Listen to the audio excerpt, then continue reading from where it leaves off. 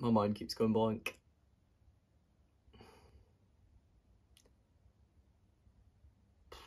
It's like my script's just gone out the window. Hi guys, welcome back to my channel, or welcome if you're new here.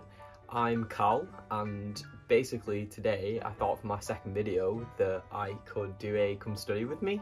I thought it'd be a great idea because I can show revision skills that I use. I also use them through high school and college. I'm gonna cut this video up into note taking, revision tips, techniques that I use that I personally find helpful, and finally how to maintain and keep up with your revision.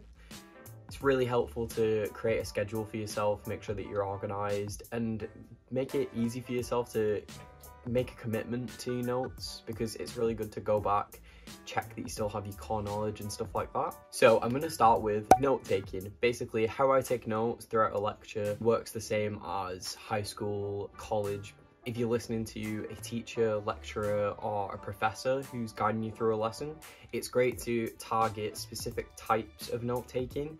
So I have a very compact note taking, and it's good to find like a good technique for taking notes because it gets quite difficult when someone's talking fast and you feel like you're missing information.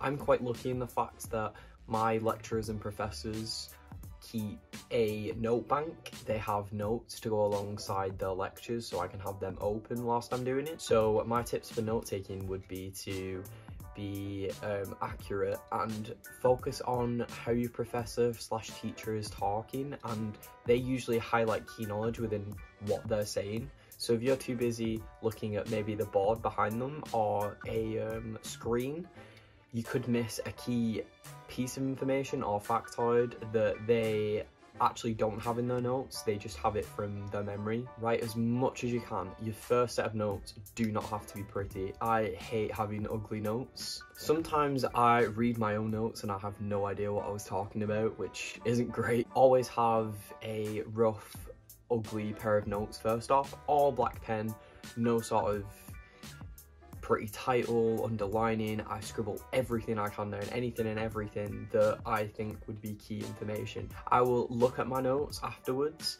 and basically decipher through, have a look at what's actually important, what you're supposed to keep and how to separate into sections, make subtitles, stuff like that. So I always take an ugly set of notes and then create a nice set of notes. So I keep the ugly set of notes just in case I need a reference to my old notes and what they actually said on the day. Maybe I missed a piece of information. I just don't want to get rid of it. So here's a cool little time lapse of me taking my notes this morning.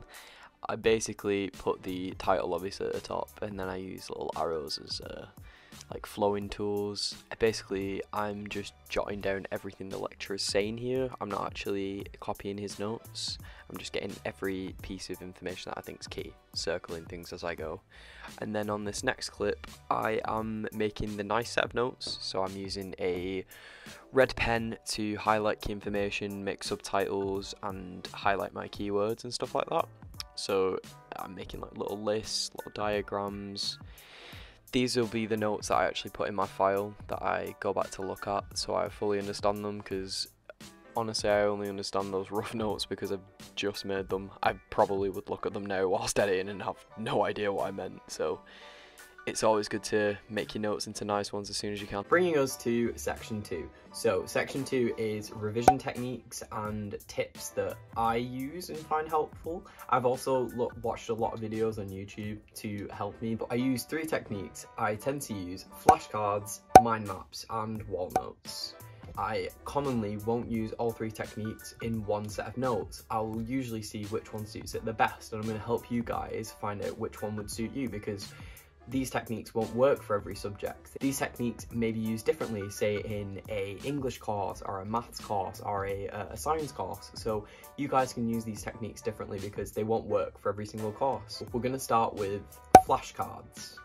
So here are the flashcards. I decided to do them digitally because it would be easier to see. Apologies for my uh, scruffy handwriting, but I decided to make the flashcards on the notes that I just did, which was types of muscles. So as you can see, I have my three questions on the front page and I have my answers on the next page. This is so if you're using them by yourself, you can check that you've got the answers right, but I prefer to let someone quiz me whilst I'm revising. I find it more rewarding to get the answer right and it kind of makes it into a little competition for yourself to remember the information. Next up would be mind maps. So, similar to flashcards, this is just a summary of the information on your note sheet. Mind maps are basically visual aids whilst revising, so you have all of your key information split up into sections. So I have the function of muscles, I have the types, I have the histology, and I also have a very important fact to remember. So a mind map is made so that as soon as you look at it, you are easily able to recite the information. So if I stare at this for long enough, I'm looking at three types and I have short snippets of answers like I just have the keyword skeletal and cardiac and smooth, but I also have images like the skull and the heart and the little the ooh. So i'm reminded that one is skeletal one is cardiac and the other is smooth so as for the other sections it's a little bit harder to use images so i've just used a line or a fact Finally, I'm going to show you guys the wall notes, which isn't exactly a popular revision technique, but I'm going to show you how I actually laughed at the idea when I found out about it, but it's really good. Like, it's such a good technique because uh, I'm just going to show you guys instead of talking about it because it's really, really easy to show, hard to explain. Okay, so for some reason my camera decided to mess up on this uh, excellent footage of me walking around my room looking at notes that I've placed on the wall. So apologies for the bad quality in this video. To put a really weird filter on it in iMovie so that you could actually see it. I think it's because I was recording with like HDR or something on my camera. I have no idea, but this is why it just looks all purple. So wall notes is basically what it says on the tin. It's notes that you put on the wall. So it's like little snippets of information for you to recall in your head that can like trigger a fact or a memory. This technique only works when you place the notes in effective locations in your room. So by that I mean places you walk past and see on a regular basis. So I've placed one here you can see on the video as I walk down my stairs. So I obviously see this every time I leave my room. And then on the second video I've placed those notes as I enter my room. So then again next to the light switch somewhere you always see.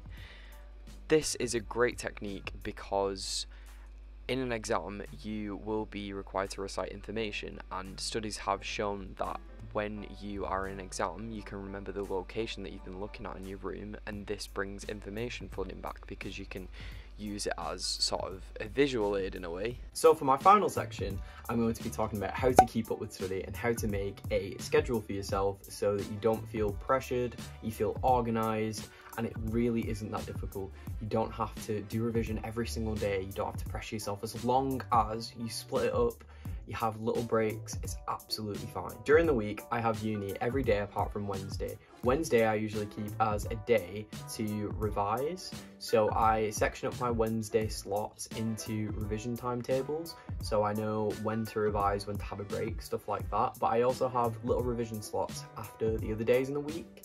I do keep my weekend uh, free because I usually like a break and I also have a part-time job. Like you might have a hobby, you might have a part-time job, you might have uh, tasks that you do, you might have a uh, another course that you do maybe you just need to find a way and balance your time efficiently. So it's also important to schedule social events. So unfortunately with it being lockdown, we can't actually go outside, do stuff like that, but it is important to schedule, say, Zoom calls with your friends, stuff like that, Zoom calls with family. I know I do that because I'm at uni in this house, I don't actually live at home.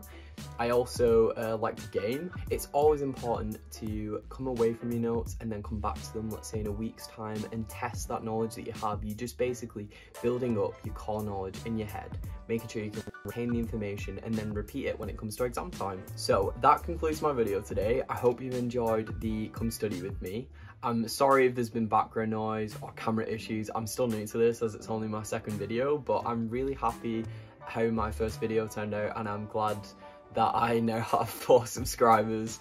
However, if this does um, get me on the map maybe in the study section, I hope you guys uh, stick around for more videos. I'm hoping to upload every weekend. So if you guys are up for weekly videos from me, if you've enjoyed the video today, I hope you subscribe and uh, drop me a like down below. I'm not quite sure what my uh, video style is. If you guys have any ideas, if you want to comment down below, I could try them out, maybe reaction videos. If you'd like to see me play any games, I was thinking of maybe playing Minecraft. So yeah, thanks for watching guys, and I'll, uh, I'll see you next time.